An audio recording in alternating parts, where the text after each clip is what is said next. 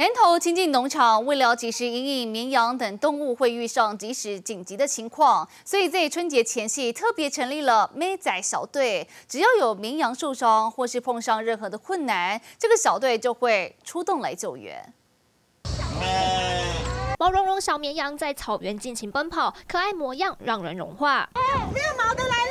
亲近农场绵羊采用自然放牧，难免会被树枝、石头割伤。工作人员在春节前夕特地组成妹仔小队，随时留意羊妹妹的状况。如果绵羊不小心受伤，就会像这样出动特制担架，或是替羊妹妹喷上天然的外伤用药。所以我们用担架把它保定的话，它比较不会移动，造成二次的伤害。它有小外伤的话，我们通常都会用这个喷剂给它做治疗。啊，让游客如果看到这种颜色的话，不要担心，表示我们已经有治疗过这只羊。维护动物安全，台中市也有守护鹅堡计划。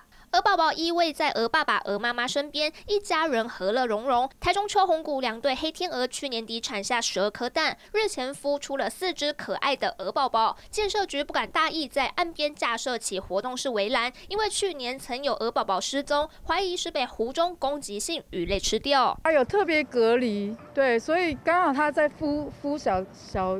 小天鹅的话会比较好啦。守护鹅宝计划会持续到鹅宝宝成长到一定的体型后，再把围栏拆除，避免新生命再遭受无端攻击。记者王维斐、魏少宇、赖文良南投台中报道。